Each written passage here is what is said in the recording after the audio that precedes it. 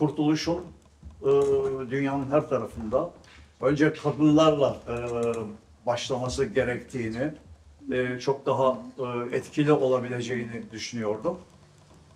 E, Berlin'de bir süre kaldım ve orada bir e, Türk ailesini model olarak aldık. Onların başından geçen olayların e, sinemaya aktarılabilmesi e, nasıl olabilir diye düşündük. Bir e, kısa özet çıktı. E, Bülent Orhan e, devreye girdi o dönemde.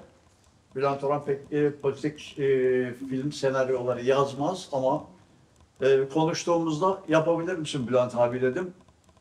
Orhan ben e, tabancayı kimin eline geçersem hedefi vururum. E, çok enteresan geldi bana. Bülent abiyle çalışmaya başladığımızda anladım ki gerçekten Bülent Orhan e, aslında Türkiye sınırlarını aşıp dışarıya çok rahat çıkabilecek bir yazar.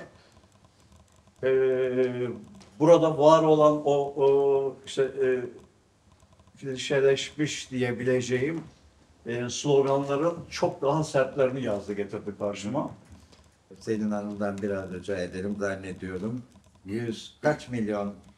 Valla 110 milyon. 110 İnsan milyon var insan dünyada. şu anda mülteci durumunda dünyada. Evet maalesef. Evet. Evet. Peki biraz e, UNHCR, bir, e, yani United Nations High Commissioner for Refugees değil mi? E, bu kuruluşun e, amacı ne?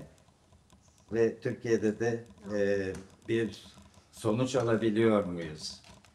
Kadar derin ki konu. Tabii. Böyle hani e, ama biz Türkiye'de yaşıyoruz hepimiz. Yani az çok artık son 12 yıldır da hemen e, sınırımızda olan Suriye'deki savaş dolayısıyla zaten çok uzak bile olsak bu konuya sığınma, mültecilik gibi konulara, zorunlu göç konusunu artık hepimiz bir şekilde bir işler biliyor olduk bu ülkede yaşadığımız için.